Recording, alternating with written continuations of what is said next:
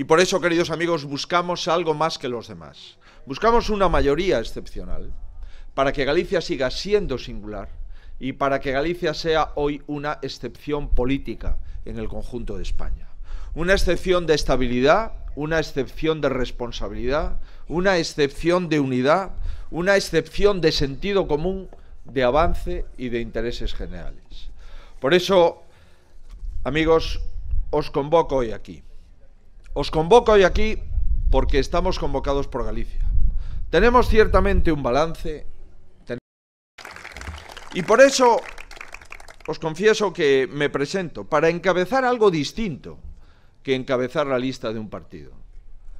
Me presento porque en Galicia se pueda desenvolver un proyecto, un proyecto que tenga el respaldo de la mayoría. Me presento para que en Galicia pueda haber cada vez más gallegos que se sientan orgullosos de Galicia. Y me presento porque hemos de saltar la regla general de la irresponsabilidad política que estamos en este momento viviendo en España para mandar un mensaje al resto de España de que los gallegos hemos entendido el mensaje, el mensaje de que en este momento, más que nunca, se necesita una mayoría estable, una mayoría suficiente para que el pueblo se sienta gobernado por sus representantes elegidos directamente en las urnas. Por eso, queridos amigos, estamos aquí Y estamos aquí por eso, queridos amigos, temos un balance, temos argumentos, pero temos algo máis. Temos un modelo, Galicia.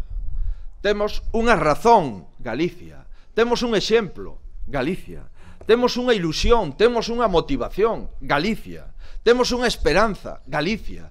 Temos un futuro, Galicia. Vamos, vamos e vamos a traballar por Galicia. Moitas gracias. Moito ánimo. E adiante.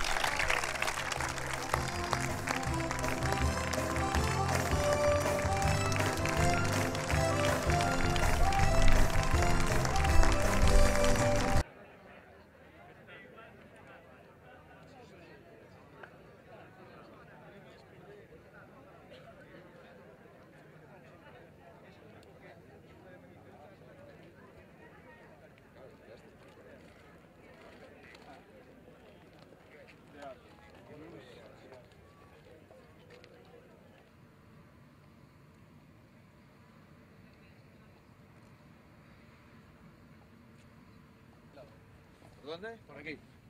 No vemos la torre. Digo que no vemos la torre.